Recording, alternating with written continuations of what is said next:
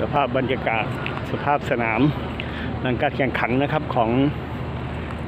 Customs Stadium ที่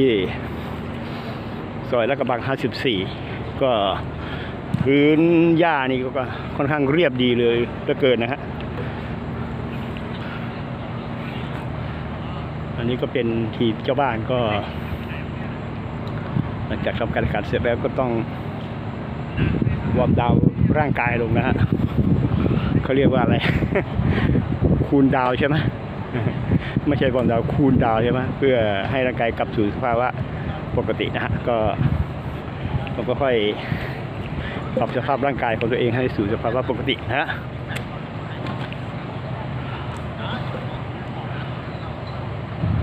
สนามแห่งนี้ก็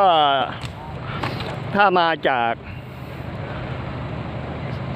ปากซอยลาดกระบัง 54 นะฮะ คือถ้ามาจากทางพระโขนงนะฮะเลี้ยวขวาเข้าตรงซอยข้างๆธนาคารกรุงศรีนะฮะเขาเรียกว่าซอยลาดกระบัง 54 นะฮะถ้ามาจากทางพระโขนงจากอ่อนนุชจากสนามบินสุวรรณภูมินะฮะมุ่งตรงไปทางหัวหัวตะเข้นะฮะจะเลี้ยวขวานะฮะฝั่งซ้ายจะเป็นธนาคารกรุงเทพฝั่งขวาฝั่งที่ต้องเลี้ยวเข้าไปน่ะ เป็นธนาคารกรุงศรีอยุธยานะฮะเจอธนาคารกรุงเทพก็เจอธนาคารกรุงเทพนะฮะก็เตรียมชิดขวาได้เลยนะฮะ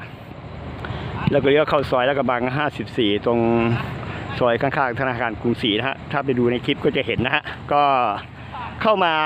จากปากซอยเนี่ย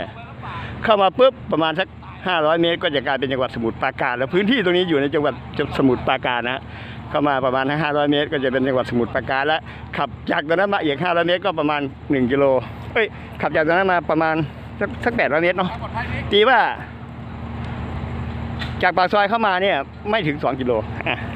ขับมา 500 เมตรจะเข้าเขตสมุทรปราการแล้วขับอีกนิดหนึ่งก็จะเป็นสนามศุลกากรอยู่ทางฝั่งซ้ายมือนะครับ เดี๋ยวผมผมป้าป้าผมฝากคืนเสื้อเลยครับ พอดีไอ้ตรงนั้นได้ค่ะครับครับครับขอบคุณขอบค่ะขอบคุณมากนะเป็นไงครับเหนื่อยไหมก็อ้าวไฟดับได้ฮะโอเค ได้เวลาถึงเวลาที่จะต้อง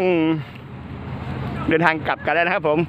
ก็ขออนุญาตปิดคลิปวันนี้ด้วยคลิปนี้นะ